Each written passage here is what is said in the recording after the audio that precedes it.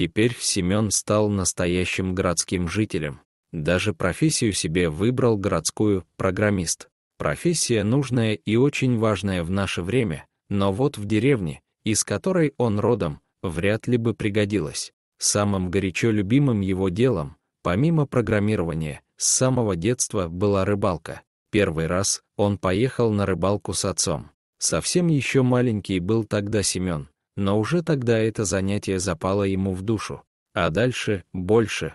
Чуть ли не каждый день они пропадали с местными пацанами на реке, пробуя новые снасти. И вот теперь, к своим 25 годам, он стал настоящим профессионалом в этом деле.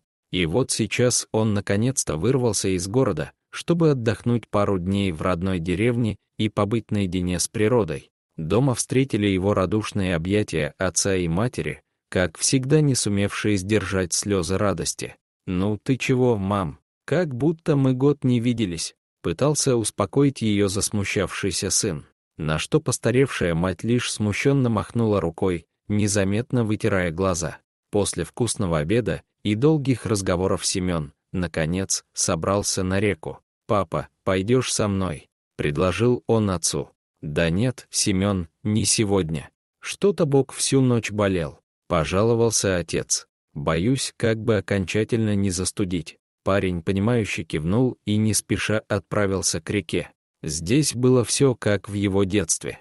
Вот только теперь все это ему казалось гораздо меньшим, чем тогда. Как жаль, что с возрастом мы теряем ощущение сказки. С какой-то светлой грустью, подумал Семен, накачивая свою лодку и глядя на поверхность воды. Сегодня на реке было особенно тихо, и это почему-то наполняло его какой-то детской радостью и восторгом. Вдруг идиллию Семена разорвал рев моторной лодки, быстро идущей прямо посередине реки.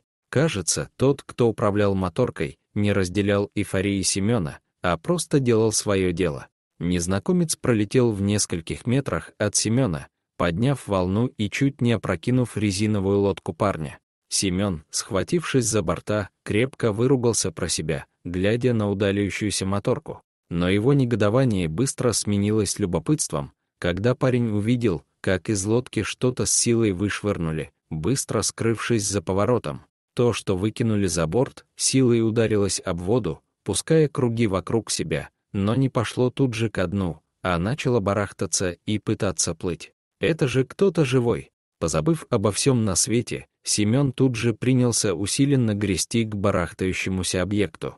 Он уже различал голову над поверхностью, но, кажется, пловец уже окончательно выбился из сил, то и дело уходя под воду. Семен боялся не успеть. Когда он поравнялся с тонущим щенком, тот опять ушел под воду, но парень смог ухватить бедолагу за шиворот и вытащить на поверхность. Затащив щенка в лодку, Семен понял, что перед ним уже достаточно крупный щенок Алабая. Но кто и почему решил таким варварским способом лишить его жизни, навсегда осталось загадкой. Щенок, полностью промокший, распластался на дне лодки, раз за разом выплевывая воду, которую успел наглотаться. Глядя на это измученное существо, у Семена сжалось сердце. Ему даже представить было трудно, что сейчас чувствовал этот щенок, поняв, что его только что пытался убить человек, которого он любил больше всего на свете. Рыбалка на сегодня была закончена, так и не начавшись. Семен причалил к берегу и вытащил своего нового друга из лодки. На земле малыш чувствовал себя гораздо увереннее, отряхивая свою шерсть от напитавшей его влаги. «Ну что, водолаз?» Улыбаясь, обратился Семен к своему новому товарищу. «Теперь со мной будешь жить». Щенок, посмотрев в лицо парню, неуверенно завилял своим коротеньким хвостиком. Теперь водолаз, такую кличку дал щенку новый хозяин, жил в квартире с Семеном. Алабай превратился из промокшего маленького щенка в огромного белоснежного великана с добрым сердцем. Он ни разу не проявлял агрессии, став любимцем двора среди ребятишек. Те могли его мять и трепать, словно плюшевого. Он покорно все это терпел, понимая, что нельзя обижать маленьких. Наконец, Семен со своим водолазом снова вырвались на выходные в родные края. Кажется, пес еще больше, чем Семен, любил эти вылазки на природу. Здесь он мог выплеснуть накопившуюся в нем энергию, носясь по полям и лая от счастья, как будто он снова маленький щенок. Но вот к реке водолаз больше не подходил, видимо, на всю жизнь запомнив, какую опасность она может таить в себе. На дворе стоял конец ноября. На улице уже был легкий мороз, и с самого утра шел небольшой снежок. Семен усадил своего четверонового друга на заднее сиденье, и они отправились в путь. Водолаз с интересом наблюдал за проплывающими за окном пейзажами, иногда что-то громко комментируя своим сдержанным лаем. А Семен замечал, как идущий снег все больше и больше усиливается, постепенно превращаясь в снегопад. «Вот это мы с тобой сегодня попали», — поделился своими опасениями парень с водолазом, а тот внимательно посмотрел в лобовое стекло, будто разделяя тревоги своего хозяина. Вдруг перед капотом автомобиля мелькнуло какое-то крупное животное. То ли косуля перебегала дорогу в неудачное время, то ли заблудившаяся корова, но парень лишь успел резко дернуть руль, чтобы уйти от столкновения, но на скользкой дороге машину занесло и выбросило в кувет, сильно ударив о дерево. Голова парня сильно дернулась вперед, и тут ему навстречу выстрелила подушка безопасности, сильно ударив в лицо. В глазах парня сразу потемнело, и стихли все звуки. Дарья вела свой внедорожник, внимательно вглядываясь в дорогу. Вот ведь снега навалило. Ворчала про себя девушка.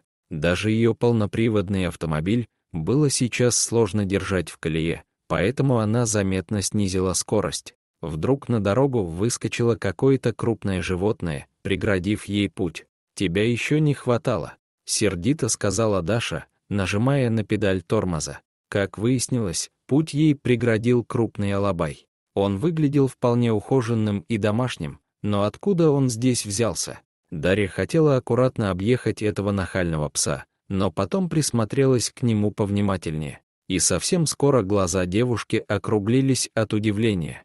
Она увидела, как пес, остановивший ее, тут же кинулся к кувету и, схватив лежащего человека, начал активно подтягивать его к ее машине.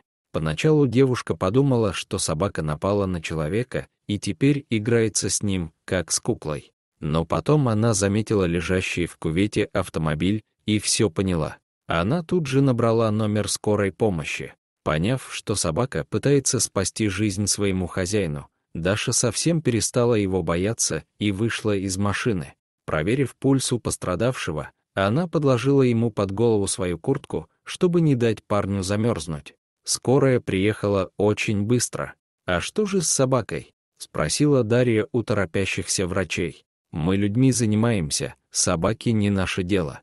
Сухо ответили те, включив сирену, поспешили доставить больного в лечебное учреждение. Даша посмотрела на растерянного пса.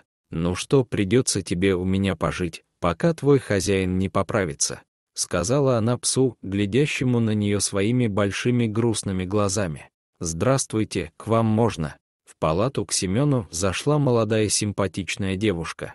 «Я Даша», — представилась она. Парень тут же приподнялся, приняв сидячее положение. «Здравствуйте, Даша.